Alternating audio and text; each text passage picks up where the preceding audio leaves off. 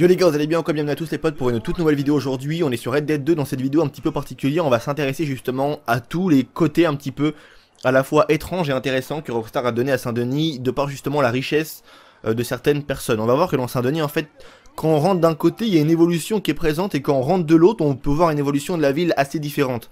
Donc là, on va s'intéresser au côté le plus pauvre jusqu'à un peu plus d'argent et jusqu'à vraiment de la thune de ouf. Tu vois, des personnes qui sont vraiment dans dans, on va dire, dans une extrême richesse. Mais avant que la vidéo commence, regardez ce que j'ai trouvé. Donc ça, on dirait trop la tenue du, de l'homme mystérieux un petit peu. Et en plus, on retrouve le masque qui est présent dans Red Dead Redemption euh, Undead Nightmare. Donc je sais pas s'il y a moyen peut-être avec un lasso.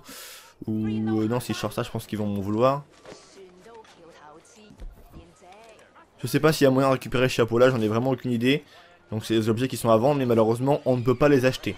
Donc ça, comme vous le savez, c'est un peu le marché. Alors c'est même pas, euh, c'est le marché un peu du, du pauvre entre guillemets au niveau de au niveau de Saint-Denis. Donc on n'a pas le droit non plus d'aller partout parce que sinon les commerçants ils le prennent un petit peu mal. Donc nous on va pas forcément s'intéresser au marché. Et c'est un peu dommage d'ailleurs qu'on ne puisse pas acheter au marché réellement dans le jeu. On est vraiment bloqué, ces gens on voit plein de trucs avec des vêtements, plein de délires et on peut rien en faire en fait. À part le, le trappeur qui est là-bas, que lui on peut y revendre des choses. Mais sinon les autres, ils servent un petit peu à la limite à rien. Donc là on arrive là. Donc justement, on va dire du côté pauvre de Saint-Denis. Donc là, il est 2h du matin, j'ai quoi J'ai toujours pas trouvé mon autre chaussure.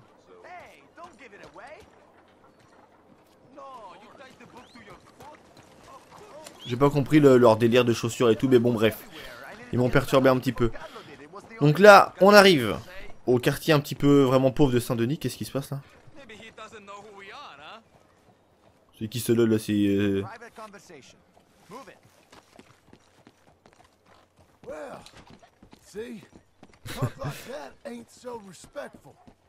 J'ai envie de le défoncer lui. C'est quoi, c'est la mafia ça, non?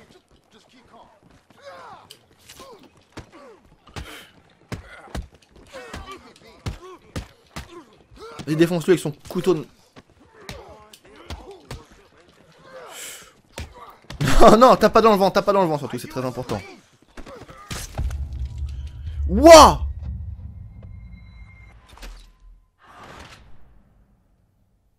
les enculés donc re les amis, on reprend la vidéo où elle s'est malheureusement arrêtée tout à l'heure avant que les deux énergumènes là de la mafia ou je sais pas trop quoi, on aurait 10 euros le mec. Donc viennent me tuer. Donc là on est dans le côté vraiment pauvre, pauvre de Saint-Denis. Et regardez-moi un petit peu à quel point on peut voir que là c'est vraiment... Bah c'est déjà un niveau, euh, c'est assez sale et tout tu vois. On voit que les personnes n'ont pas vraiment les moyens, il y a des, des vêtements qui traînent par terre, des trucs comme ça avec de l'eau, enfin...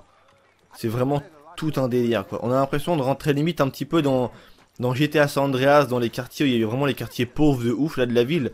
Ça fait penser exactement à ce même genre d'endroit, mais bizarrement c'est dans ce genre d'endroit que je kiffe en fait parce que je sais pas, c'est c'est brutal mon ami, tu vois ce que je veux dire?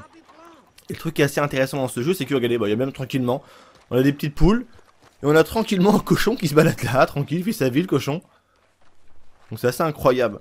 Et le truc qui est dingue avec Rockstar Games, c'est que ils arrivent à te montrer à quel point le jeu est réaliste, mais à la fois extrêmement injuste, mon pote. C'est que là, on est dans le quartier extrêmement pauvre, avec euh, bah, des personnes qui n'ont pas forcément euh, les moyens, tu vois ce que je veux dire on voit vraiment que les personnes essayent de vivre un peu comme ils peuvent, tu vois, avec les moyens qu'ils ont. Et d'un autre côté, qu'on va voir dans quelques instants, on a des personnes qui, eux, ont tous les moyens nécessaires pour vivre, entre guillemets, tranquillement. Lui, là, par contre, il va jouer un petit peu de guitare ou je ne sais trop quoi, donc maintenant, on va s'avancer un petit peu. On va se ravancer vers le côté un peu plus riche justement de la ville de Saint-Denis. Vous allez voir que l'évolution est assez incroyable et qu'on va dire si on fait... Attends, on dirait tellement GTA 5 pour ça là. Pour les quartiers comme ça, c'est incroyable. Bon, c'est une autre époque, mais euh, ça me rappelle énormément les GTA 5, GTA San Andreas, tout ça.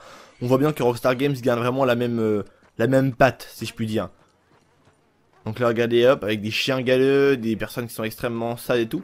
Et là, d'un coup, regardez, c'est pas que ça s'améliore, mais ça commence à être un petit peu mieux, tu vois. Tu commences à voir que les personnes ont quand même... Euh, il y a des habitations, c'est toujours un peu, un peu sale, tu vois, mais on commence un petit peu à être mieux, tu vois. On rentre dans une catégorie où... la vache, il est... C'est pas possible, t'étais trop dans de la boue, t'es tombé dedans, toi mon ami, t'es comme Obélix, t'es tombé dedans quand t'étais petit. Donc là, on commence à avoir un petit peu plus de moyens, tu vois. C'est léger, mais voilà, on commence à avoir une une certaine un peu plus... Euh, il monte un peu, entre guillemets, si je puis dire, dans la société, quoi. Si on doit franchir des paliers de niveau de l'argent, il monte un petit peu plus, tu vois. Donc là, c'est plutôt pas mal. Et là, on va commencer vraiment à rentrer dans les beaux quartiers de Saint-Denis. Et on voit que Rockstar va nous faire comprendre que il y a ces trois, même voire c'est peut-être même ces quatre catégories de personnes, entre les personnes qui ont de l'argent, d'autres qui en ont un peu moins, d'autres qui en ont un petit peu moins, et d'autres qui en ont pas du tout, et ceux qui sont vraiment à la rue, tu vois, qui ont rien, rien du tout. Et il y a toutes ces catégories de personnes-là, et toutes ces personnes-là vivent ensemble dans le meilleur des mondes, mais que t'as vraiment l'impression qu'aucune, entre guillemets, de ces catégories de personnes va en aider une autre en fait. C'est que les pauvres iraient même pas aider les, les enfin même au, en échange d'un travail ou de n'importe quoi, ils iraient pas dire à, un pauvre par exemple, bah si tu fais ça, je te paye, et voilà tranquille, normal, tu vois, ça te fait de l'argent, tu vois, un délire comme ça. T'as vraiment, vraiment l'impression que tu traverses trois mondes différents. Et c'est vraiment incroyable à quel point la ville de Saint-Denis, ça va dépendre vraiment de quel endroit tu vas rentrer pour... C'est qui c'est Nigel ça ou quoi T'en aurais trop dit Nigel, c'est un truc de ouf. Et euh... Si tu rentres, on va dire, bah, du côté gauche de la ville, donc on va faire start. Si tu rentres par là, tu vas tomber sur des usines de ouf, avec un niveau de pollution incroyable, mon ami, tu vois, est quand même assez, vraiment, vraiment, euh, on va dire, au niveau l'insalubrité, c'est vraiment dégueulasse aussi par là.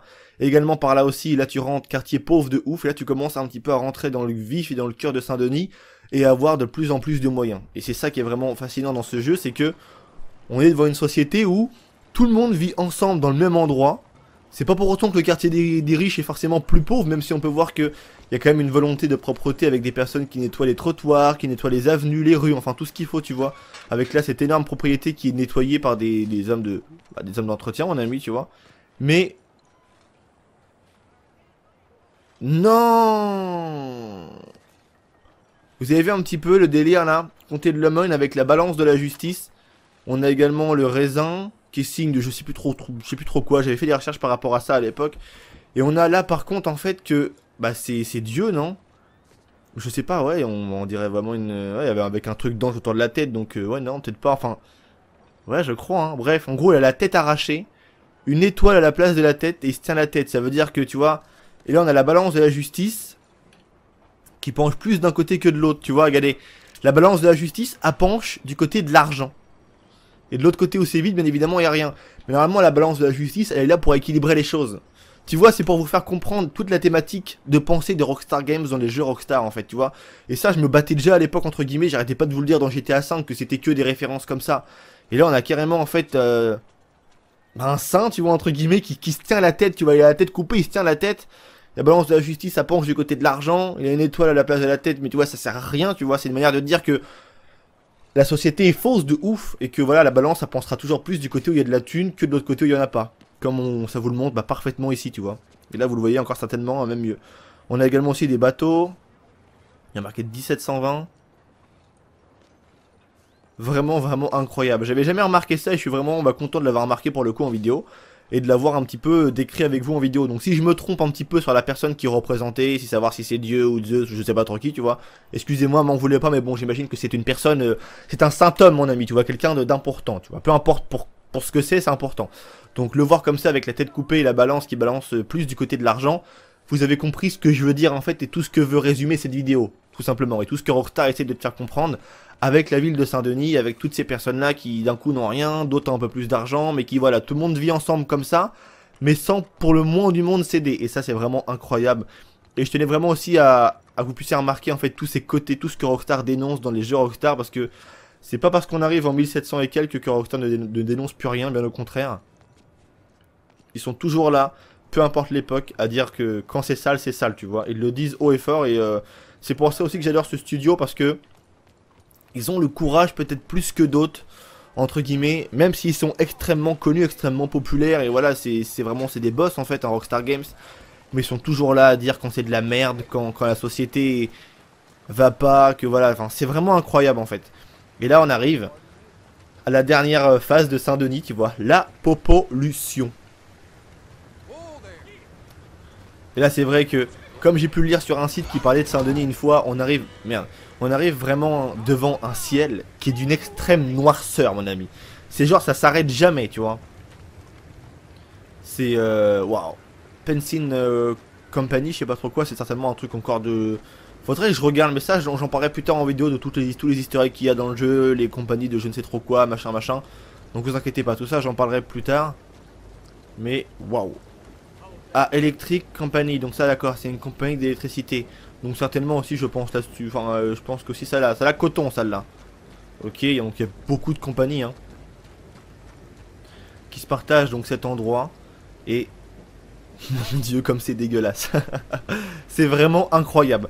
Donc c'est tout pour moi, j'espère que cette vidéo vous aura plu, n'hésitez vraiment pas les amis à me donner votre avis dans l'espace commentaire. Et si vous avez remarqué aussi, vous aussi des choses comme ça où Rockstar dénonce un petit peu euh, des cas de figure comme je viens de vous le montrer dans cette vidéo. Et je pense que le, gros truc là, le gros blason, euh, l'emblème de Le Moine bah, a parfaitement résumé ce que je voulais vous dire tu vois. Parce qu'on aurait, aurait pu penser que je blablatais, que ça n'avait pas de sens ce que je racontais, mais je suis quand même venu vous montrer que Rockstar, enfin ce que je disais en fait c'était l'état de pensée de Rockstar Games et, voilà, donc j'espère que ça vous aura plu les amis, n'hésitez pas si vous aussi vous avez remarqué des choses comme ça à m'en faire part les potes dans l'espace commentaire, c'est tout pour moi, à très bientôt pour de toutes nouvelles vidéos, n'hésitez pas à mettre un petit like parce que ce genre de vidéo n'est pas forcément aussi intéressante qu'une vidéo où je vais montrer un trésor, un je ne sais trop quoi, une action what the fuck, un délire euh, vraiment bizarre, mais dans le fond, c'est vraiment aussi ce qui est pour, le, pour moi pardon, le plus important parce que c'est le message que lance le jeu vidéo. Et voilà, tout ce qui est euh, les aliens, les petits machins, les meurtres, les, tueurs en série, tout ça on aime bien, c'est rigolo, c'est pas mal, mais ça pour moi c'est aussi extrêmement intéressant et ça mérite vraiment qu'on en discute plus de 10 minutes, même plus d'un quart d'heure limite, on pourra en parler pendant 20 minutes parce que c'est vraiment ce qui est dans l'âme du jeu et c'est ce que les, les personnes qui l'ont écrit, qui l'ont construit de toutes pièces, essayent de faire en fait, tu vois.